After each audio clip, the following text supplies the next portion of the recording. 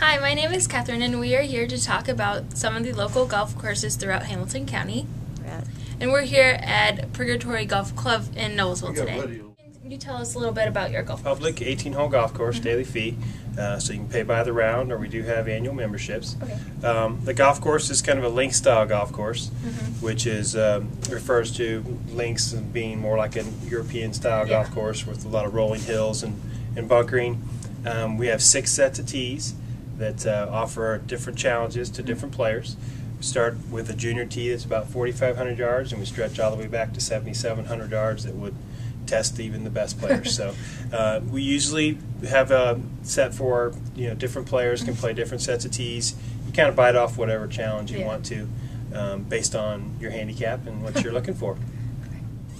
And I hear you guys have like a full service pro shop. You want to tell me a little bit about Our that? golf pro shop with uh, shoes to golf balls to all the particulars you see in a golf course. Mhm. Uh, we offer private fitting sessions for those interested in purchasing equipment. Mhm. Um, spend a little time with them, give them a custom fit, make sure the equipment is right for them. Okay. Um, we carry fo- every brand that you can basically think of. Um, we we have um, Titleist to Callaway to Nike, Mhm. uh, all the main brands that you think of in golf equipment. Um, we have ladies apparel that uh, is a selection that is usually a little bit more than most you see at most uh, Yeah. most golf courses. Um, we have full service men's with uh, outerwear to Mhm. golf shirts to to golf bags to all the good stuff. Services. So besides just the regular golfing, do you offer anything else? we here? would highlight would be golf outings. Uh, if you'd like to host a, a large golf outing to, um, you know, whether it be 16 to 150 players, uh, we can do those, provide those for you on the golf course as well as um, uh, banquet area afterwards uh, to have food and drinks and things Yeah. afterwards.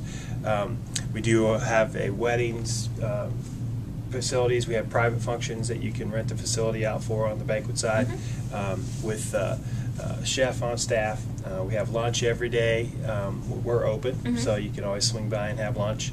Um, we're not open full time for dinner, but we do have private dining experiences Mhm. that are based throughout this throughout a, a schedule. Basically, about once a month we have something with the, the chef cooks up with some some kind of a special Mhm. dinner. And So for those like me or my family who don't really have a long time to play golf, is there another option here? We, we provide a full service practice facility with a nice short dedicated short game area as well as a full driving range.